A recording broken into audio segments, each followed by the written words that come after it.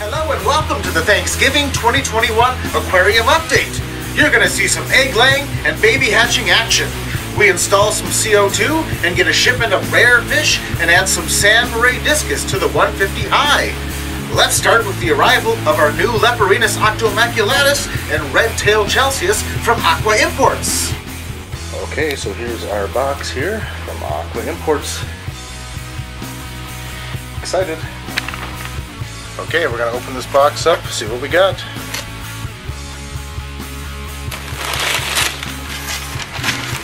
Alright, we got our fish in here. Very cool. These are the Leporinus octomaculatus right here. And here we are, we have a couple of these yellowfin Chalceus, red-tailed. So exciting. Uh, there's the octomaculatus, eight spot Leporinus waiting to be let out. These guys spent one week in the quarantine tank and were very fun to watch once they moved into the 210 gallon black water tank.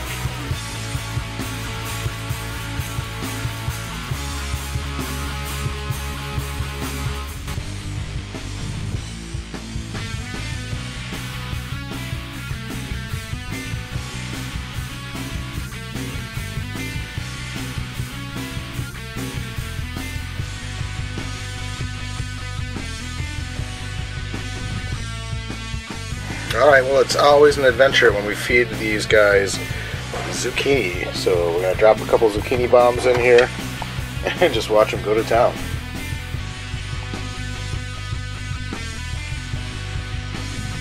Leporinus and headstanders clearly like the zucchini. There's, there's two bunches. Oh, I, guess, I guess this one's also covered in fish.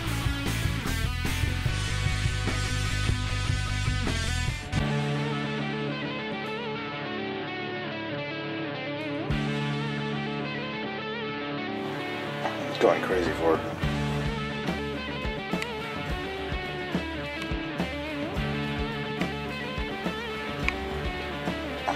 Anyway, it's one of my favorite things watching them eat zucchini because they just they go all out.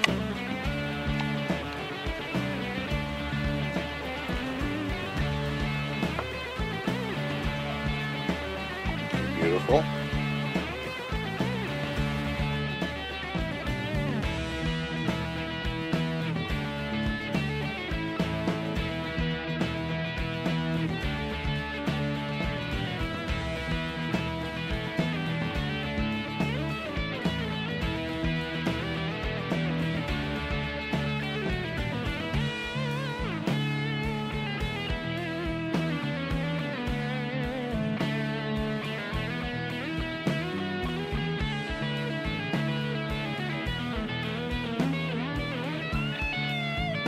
Like me in the morning right there.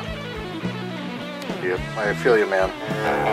Oh, let's go back to bed. Let's go back to bed. Oh, Brandon. What are those pink guys? Those are yellowfin Chalceus. And now I want to ask, where's the rare? The the rare Octomaculatus? That's these guys right oh, here. Cool. Oh, mm-hmm. that's Speaking of Leporinus octomaculatus, they are a smaller and more peaceful species that tends to swim in the mid and upper portions of the tank. Hi.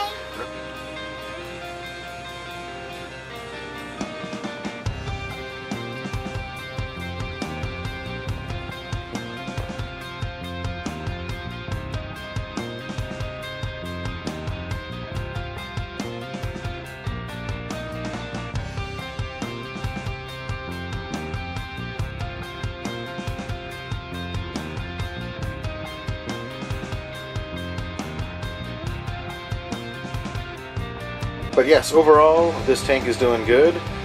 Very interesting fish, very interesting behavior. Can't wait to see what happens if we're able to get more varieties of these guys and these Leporinus fish. Check out this Geophagus. He looks like a firemouth cichlid. Look at him. you are gorgeous, man. Wow, Geophagus surinamensis. Pretty fish. Alright, so how do we feed all these guys? We feed them frozen food and we put them in Tupperware to thaw just a little bit. I actually get these prepped in the morning before I go to work. so that when I come home, all I have to do is take them out of the freezer. Should I get the hammer? Yes, definitely. All right, so we're gonna show how we feed these fish. We're gonna feed them frozen things and I'm gonna be hammering some stuff. Skin marine eating, eating, skin of eating. So we got some bloodworms here. What we've done is we've broke we've broken these up with the hammer. So we stick them in here. Let them thaw. There we go. So there's our there's our Frozen bloodworm. yep. There's our frozen jumbo bloodworms. The next we're gonna put brine shrimp and stuff in here. So you want to just kind of hammer the top. Okay, that's good. Okay, stop. That was awesome. All right, and then we fill our tubs. So here you can kind of see the lineup of food. And they also get some flake food. The discus tank is doing good here. I should mention that we've had this tank now for two years. We added a couple of these San Merah discus from Tamed Waters, and they're amazing. Number one, and then uh, another one back there, headed towards us. Hey, buddy. Oh, photobombing. Getting photobombed here. It's all good. We, don't mind. Anyway, yeah, this tank is doing good. I've been adding some root tabs to try and get this jungle val to be a little bit more happy in here. Our clown loaches are getting bigger down here. They're a lot of fun to watch. Are you guys silly? San Merah discus.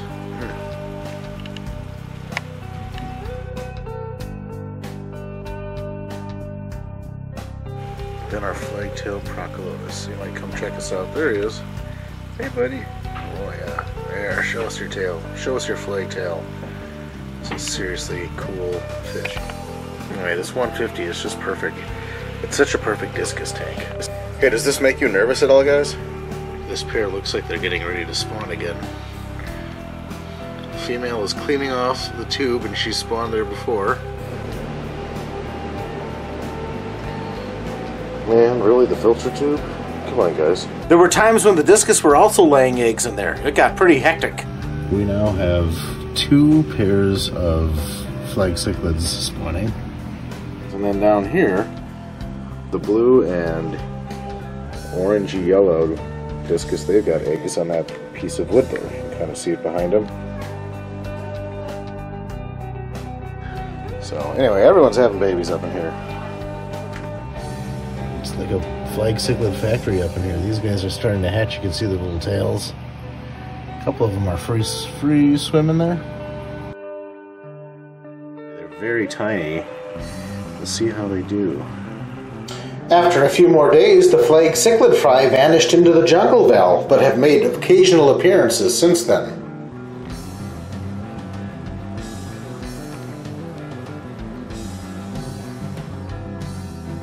This guy is one of my favorites. I love his facial expression.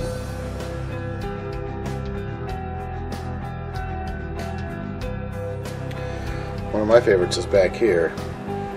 Always hanging out in back. This little lady is adorable.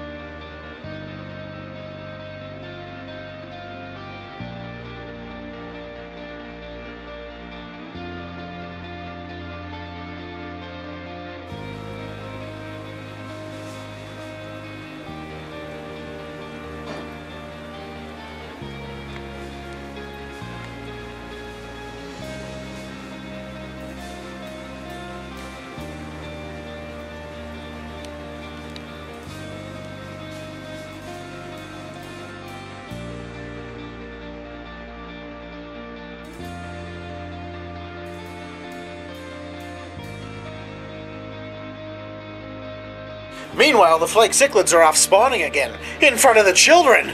See those fishies laying eggs on the tube? Huh? That guy right there. Check that out.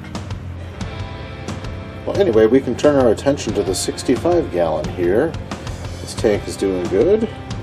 We have planted some of this micro sword down here, and um, And yeah, I don't even know what this is, but it's a really pretty plant and it's starting to grow.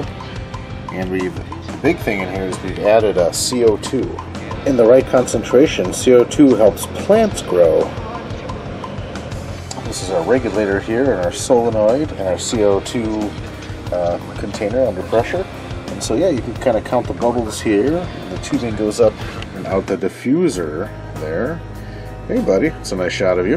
And so it's therapeutic when this indicator is green. Right now it's blue, so I'm going to go ahead and turn up the, uh, the rate of my CO2. And uh, that's where you want it to be for maximum plant growth. But anyway, I love these Colombian Blue Flame Tetras. So pretty. And they'll get bigger and prettier, in my opinion. Then there's these guys. Hey guys, what's up? It's embarrassing to watch my behavior sometimes while I'm editing this. Yeah, you guys doing all right? We've added a little pump in here to kind of circulate the water better and get that CO2 around so that the plants can utilize it in the entire tank. But yeah, definitely enjoying this tank. Sun catfish hiding, hiding, waiting for something to eat behind that rock.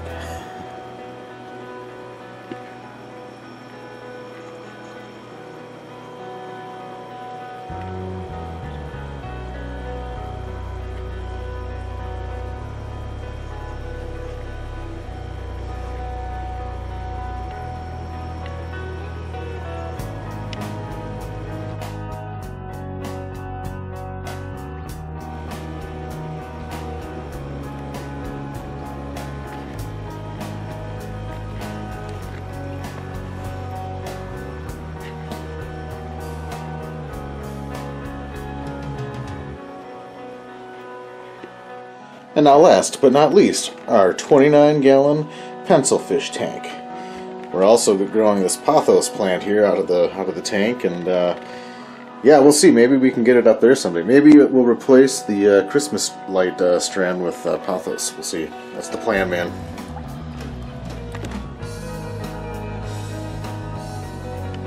Now you know that there's some breeding cherry barbs in here. Look how red these guys are. They only get these boys only get excited for one thing. You know. And on that note, I'd like to thank you for watching and have a happy Thanksgiving. Catch you next time.